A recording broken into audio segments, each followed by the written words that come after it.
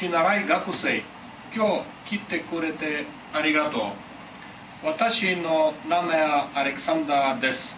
私はブルガリア出身です。私はここにいる幸せです。はじめ私が日本語で教えしよう。あなたは私の日本語を理解していない場合私は英語の言語に変更することができます。私の講演のタイトルは大日を分子標識のためのナノプローブ。Nanoprobes for single molecule labeling and tracking in cells or tissue 私はこの研究テーマに興味を持っています。なぜ？これらのナノプローブは1及び生体分子の土定とために使用することができる。例えば樹能に我々は特別なタンパク質をまたは DNA 識別することができます。これらのナノプローブは生き物学校及び医学のために非常に重要である。ロシアドットは無機半導体のの結晶である。彼はユニークな特性を持っている。いわ無性なの量子を調整するための方を開発した。メソッドの名前はマイクロエモルジョン五世だる。この方法による我々はナノ粒子サイズを制御することができる。これは雪リガンドで表面を収縮することが可能である。違ってナノプローブは生き物学的用途のために使用することができる。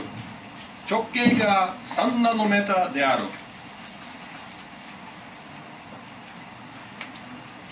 ナノ粒子は化学を結合によって生体。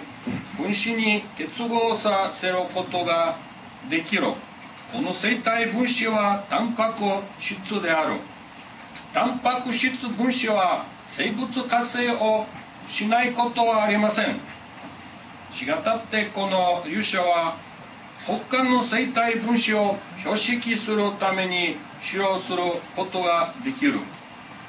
これは電子顕微鏡により写真である。この写真で私たちはナノ粒子を見ることができます。私たちはオランシを使用しナノ粒子を感熟する。ここでは異なる色で異なるナノ漆を見ることができます。ナノ漆は異なる化学組成を有する。ナノ漆は異なる。コントラストを持っている。違って私たちは蛍光及び電子を顕微鏡の両方でナノ粒子を区別することができます。